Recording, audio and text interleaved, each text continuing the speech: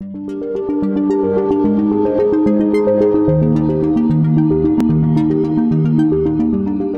name is Russell Gray. I'm the Director of Client Success here at Mixmode.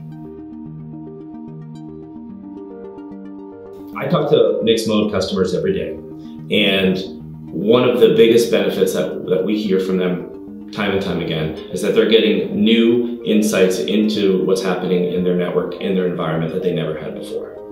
That's because of the, the nature of our network data that we're providing, which really does provide the sort of unvarnished, unmitigated truth of what's happening on your network. But then, in addition to that, with the artificial intelligence layer that we have, we're able to give them anomaly detection and insight that they really can't get from any other tool on the market.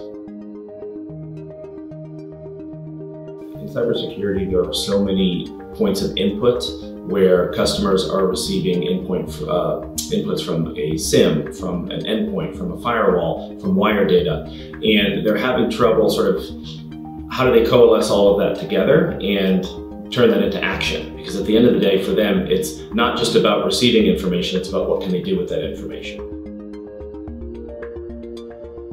Mixmode provides visibility into network wire data, which was not typically uh, a standard within a, a cybersecurity stack. It really was a blind spot for most companies. And what's really satisfying is when customers deploy a Mixmode sensor, we sort of have this moment where they turn the lights on and they can actually see what's transgressing, what's traversing their network.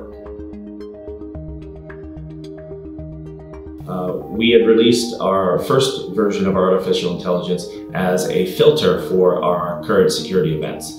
And very quickly, our customers, when digging into these events, uh, came up with the question of, well, can you give some insight into what the artificial intelligence is using to make its decision? So if it's determining that a given time period is anomalous or not, can you give some level of clarity into that? We were able to give that feedback to the AI team and the engineering team, and this was surfaced into the product in a matter of about a month and a half.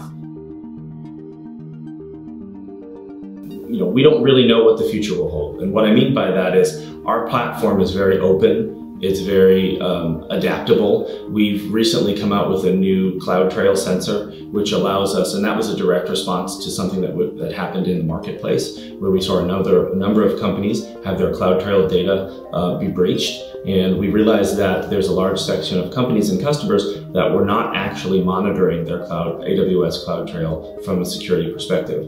So we were able to build that into the product quite quickly. And that's an example of where we're able to sort of take the platform and adapt it to whatever the evolving threat landscape might be moving forward.